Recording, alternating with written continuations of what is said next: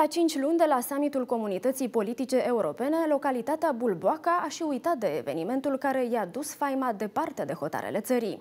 Astfel, în satul care în luna mai roia de muncitori, s-a așternut de mult liniștea. Totuși, localnicii spun că evenimentul de amploare, la care au participat aproape 50 de înalți demnitari străini, i-a responsabilizat și speră că vor mai avea parte de așa ceva. Iar cea mai mare mulțumire a sătenilor este drumul, care a fost reparat datorită summitului. La cinci luni de la organizarea summitului Comunității Politice Europene, am revenit în localitatea Bulboaca pentru a vedea cum s-a schimbat viața localnicilor după evenimentul care a adunat la castelul din localitate aproape 50 de șefi de state și guverne. Deși schimbările nu sunt multe, sunt importante, spun unii localnici. Eu uh, cred că o să fie prelungită tradiția aceasta. Toți uh, iese măhălenii fac curățenii, nu că să-i impună cineva. Chiar noi am mea sâmbătă, nu că deja că cum spunea că e subotnic sau nu, dar uh, conștiincios. Se prelungește. Se prelungește și la oameni. Uh, au rămas în sânge să fie ordine înaintea casă, să fie vopsit. Deci uh, e responsabilizat mai mult pe oameni. Da, da, uh, cu mult, oamenii se schimbă.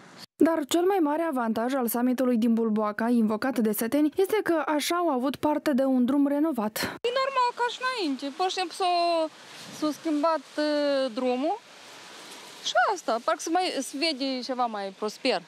Da. Asta. Ați mai văzut uh, oficial după summitul ăla sau a fost doar? A fost, a fost, dar uh, e secret, adică nu s-a, nu s-a publicat chiar duminica trecută.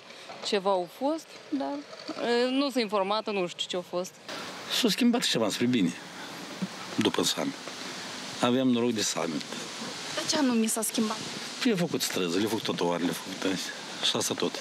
Nu, cum, sunt careva schimbări, e clar că s-a, s-a făcut într-un loc unde să vină lumea să vadă gunoiul nostru. S-au făcut ordine, s-au făcut drumuri. Mai în curs s-a schimbat. Spre bine mai multe lucruri în domeniul infrastructurii. Da, oficial, după summitul care a avut loc, au mai fost pe aici sau?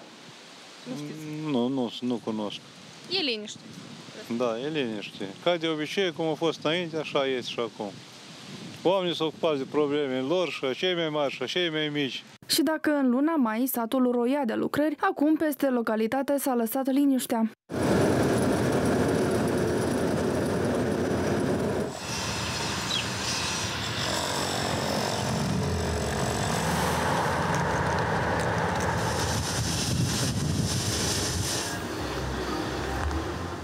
Data de 1 iunie, în localitatea Bulboaca a avut loc cea de-a doua reuniune a comunității politice europene, datorită căreia țara noastră a fost foarte vizibilă la nivel internațional. La eveniment au participat 48 de șefi de state și de guvern care și-au reiterat sprijinul pentru Republica Moldova. La eveniment au fost acreditați și 700 de jurnaliști care au ajuns la castelul din localitate cu trenul, fiind nevoiți să treacă mai multe filtre de securitate.